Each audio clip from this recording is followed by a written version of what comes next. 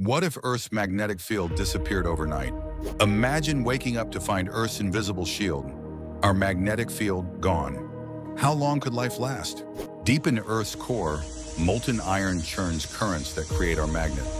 Tonight, those currents stall. Compass needles spin, birds veer off course, and vibrant auroras ignite even over the equator. Without the field, charged particles from the sun slam straight into the atmosphere. Satellites fry, astronauts scramble for shelter, and global GPS blinks out. Induced currents overload power grids. Entire continents plunge into darkness. Transformers erupt in fountains of sparks. Over decades, the relentless solar wind strips away our upper atmosphere.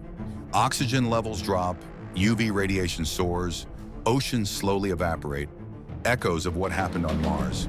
Humanity races underground and underwater. Magnetic shielding tech becomes vital, but agriculture, climate, and ecosystems are forever changed. Could we engineer a new magnetosphere before Earth becomes Mars 2.0? Let me know what you do in a magnetically naked world. Comment below.